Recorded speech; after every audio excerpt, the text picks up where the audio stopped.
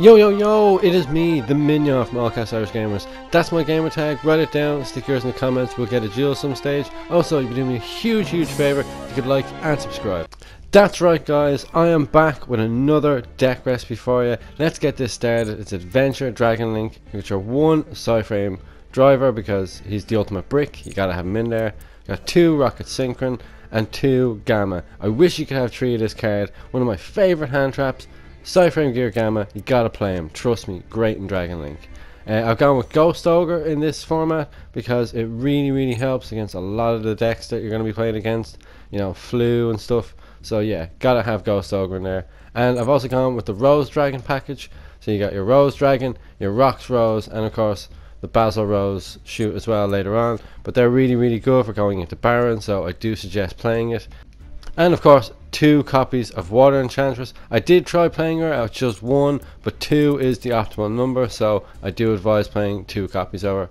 Uh, White Dragon Wyverburster, and of course the Black Dragon, because they are your baby Chaos Dragons, and you're going to need them. They, they really help extend, go into further plays, you can recycle them with Chaos Space. Just great, great cards to have. Uh, one copy of Snow, totally broken card, the fact that that came out the ban list and uh, the TCG is insane. Super, super good card. Uh, two Rokket Tracer. I found two is enough because at the end of the day it is searchable. So yeah, just two copies for now seems to do the trick. And one recharger to help go into those uh, Synchro 8 plays. Uh, you gotta have at least one 4 star non-tuner in there. Uh, three safer because it searches whatever you want basically. And just top, top normal summon. Uh, Artifact Lancea I've gone with over Maxx C because with the amount of Floowandereeze, just Maxx C wasn't cutting it for me. I was setting it in defense mode a lot. At least with Lancea, it, it hit, hits a lot of decks. It can also hit the uh, adventure uh, cards as well. If you notice that they discard Enchantress, you pop Lancea. They can't banish it to add Rite of Aramesir. Uh, we got Noctovision as well because you know, Noctovision is just a great card, gets that extra draw. Uh, we got a Wandering Gryphon Rider, just a free special summon of a level 7, so really, really good card to have. Uh, and of course, it's an Omni Negate. Uh, Levianeer, brilliant card, one of the best cards in the deck. Chaos Emperor Dragon, uh, just fantastic, great for recovery plays. And Red Eyes Darkness. This card is your main target for Seal because it'll help go into a Link 2. So yeah, just really, really good card to have in the deck. And of course, one Nibiru. You gotta have Nibiru. Respect the Nib, guys. I've thrown in one copy of Foolish Burial because it helps get Enchantress in the graveyard. And of course, it can also send Absorouter as well. So, bear that in mind. Uh, Chaos Space, the best spell card in the deck. Searches out nearly any dragon you want. It's great for recovery and gets you that extra draw as well. So, really good card to utilize. Uh, two Rite of Aramesir because this card, I mean, this card alone will win you games. Activate, right. The end. You win. It's just that easy. Guys just can't deal with the adventure token at all. They quit. They just they, they can't handle it. They see where it's going. Uh, I've got one copy of Dracoback.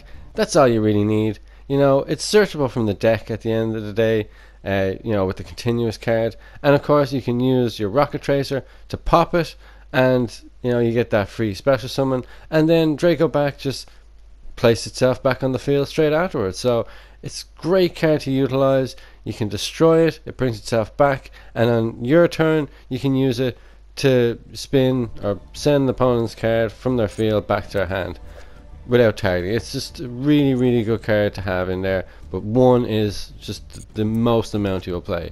Uh, Dragon's Ravine, one copy, and Boot Sector. They're your field spells. You're just gonna need one copy of each. I've seen a few people play two Dragon's Ravine. You don't. You don't need to do that.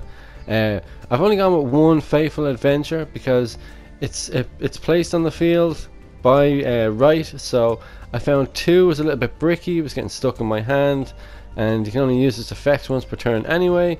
So yeah, I think one is enough. If you think the ratios should be different and I should be playing more, please let me know in the comments. Uh, we've got two Cosmic Cyclone because floodgates are a thing and they will end this deck. Uh, three copies of Quick Launch. N need more be said. I mean, go to card. Gotta have three of it. Two Called by the Grave. What a card. best quick play card in the game. Prove me wrong. Uh, Basil Rose Shoot as the you know third card of your Rose Dragon package. Just a good extender, helps get another body on the field. And three copies of Infinite Impermanence. I did drop it to two, but I put it back up to three because it's just fantastic. Uh, Borreload Savage, self-explanatory. I mean, Chaos Ruler, Hot Red. These three cards are staples for any Dragon Link deck. Ask anybody, they'll tell you you got to be running these three cards because they're great. I mean, you can use Hot Red to do a bit of battle damage. He'll bring back a tuner.